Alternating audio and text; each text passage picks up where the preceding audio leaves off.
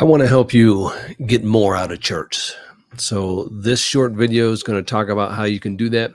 Because um, I think a lot of people go to church, don't get what um, they could get, and then they stop going to church. So I want to help you get the most out of church that's possible. And I've been going to church since 1998, um, many church services, and and this has really helped uh, me. So the first thing is before you go to church, we're going to talk about prepare for church. We're going to do two part video, um, but this is just going to be the prepare for church part.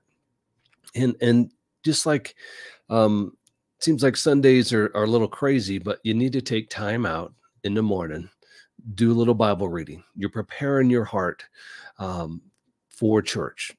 So you're going to read some Bible, and then you're going to pray. And these are some areas that I think um, that you should pray. Okay, so let's let's first talk about. We're going to talk about um, praying for the worship. Okay, the worship is there to to get people ready for the message and and that's the whole goal but you're you're praying for the worship team i mean individually pray for them if you know who's going to perform that day um, and it's their job to get us ready for the sermon. So you're praying for that time and you're praying for your own heart that the worship will be impactful and meaningful and it'll bring people closer to jesus. You're you're praying for those things. It, it's a um, it's a big deal. There's a reason we sing music. It's to get our heart ready for the preaching. So you're you're praying for that that uh, that goal um, of people to get ready for the preaching. And then pray for the message pray that the message will be very impactful. Okay. Um, Sundays are spiritual battle days. And and I most my kids have moved out, but I remember that Sundays could have been some of the craziest days before church. There's just spiritual battles going on all the time.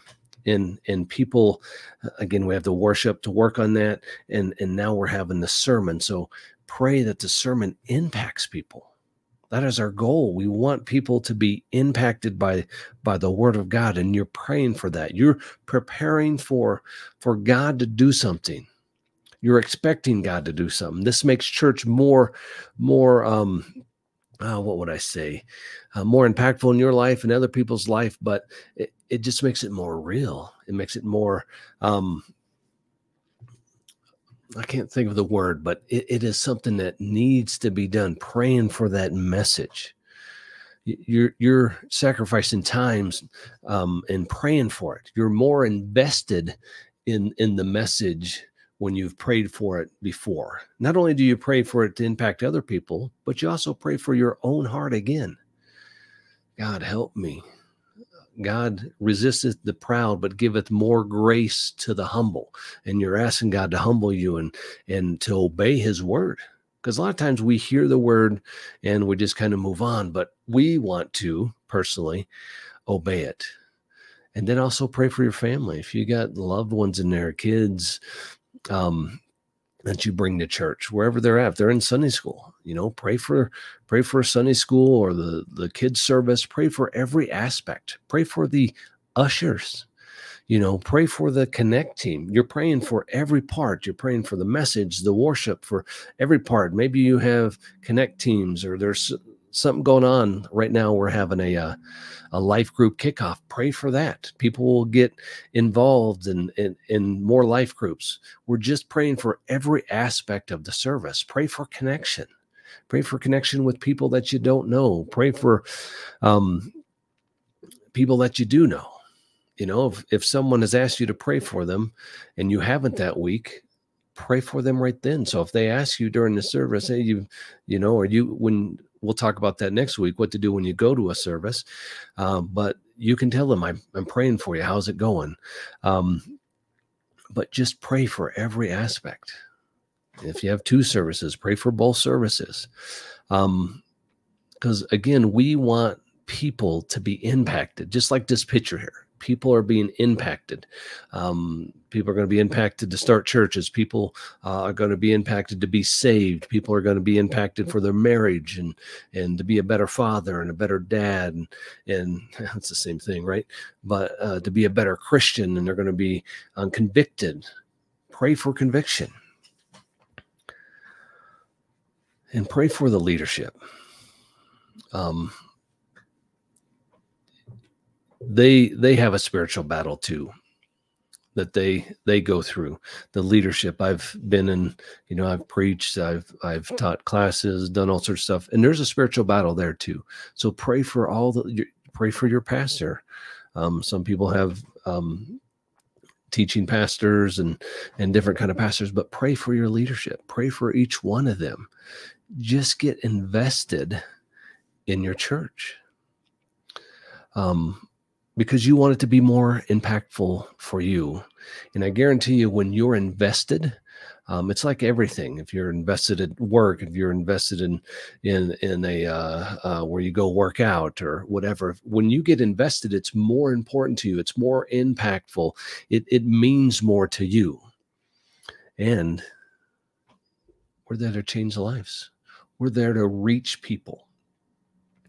And by you praying, you're helping that spiritual battle in your own life and in the life of your church. So I challenge you to, um, to do that, to pray earnestly, fervently. Uh, the prayer of a righteous man availeth much, the Bible says. And so we want, um, you want, um, God wants us to to be invested in His church. He died for the church. He's the one that set this, set the church up to reach people, to reach the hurting Christian, you know, and and and just pray for every part of the service. Um, so next week, not necessarily next week, but next video, um, we're going to talk about when you go to a service because I think we lose a lot of opportunities when we go to a service and we don't um, there's certain things I think you can do that can just help other people, help you. Again, we're we're trying to make um, church more impactful in your life and other people's life. So next week we'll talk about when you go to a service, what do you do you do? So also I'll put some other I do other videos, and if you're interested in, um, we have some battle verses that we do. I'll put one of those up, and we're just trying to do other things to help um, men to re-enlist into the fight, not be adrift, not be disconnected, but we need men to be in this fight. And this is one way um, Jesus died for the church and he wants this church to go and the gates of hell uh, cannot um, stop the church. And and we're going to claim that promise. So until next time um, stay in the fight. And again pray for your church. Pray for the message, the worship, every aspect of it. I challenge you to do that.